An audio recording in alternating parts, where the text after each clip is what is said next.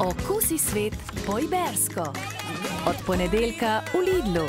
Španski ovčji sir 3,99 evra in španski pršut tudi 3,99 evra. Solimar v Lidlu. Lidl, preprosto več za vas.